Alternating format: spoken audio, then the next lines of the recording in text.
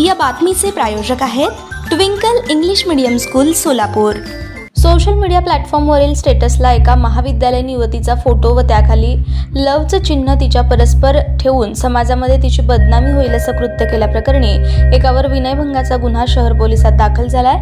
माधव दत्तात्रय पाटील असं संशयिताचं नाव आहे याबाबत पीडित युवतीनं फिर्याद दिली आहे युवती शिक्षण घेतीये सुट्टीला बार्शी येथे आल्यानंतर माधव हा नेहमी तिचा पाठलाग करायचा तुम्हाला बोलत जा असं म्हटल्यावर युवतीनं त्याला नकार दिला. त्यामुळे त्यानं त्याच्या हातावर ब्लेड मारून घेतली होती. त्यानंतर युवती पुढील शिक्षणासाठी एका शहरात गेल्यानंतर त्याच्या पुढे काही संपर्क आला नाही. त्यानंतर माधवनं कुणाकडून तरी युवतीचा मोबाईल नंबर मिळून तिला त्रास देण्यास सुरुवात केली.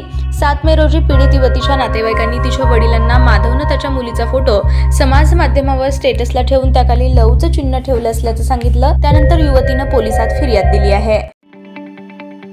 ताज्या बातम्या पाहण्यासाठी प्राईम महाराष्ट्र न्यूज चॅनलला सबस्क्राईब करा.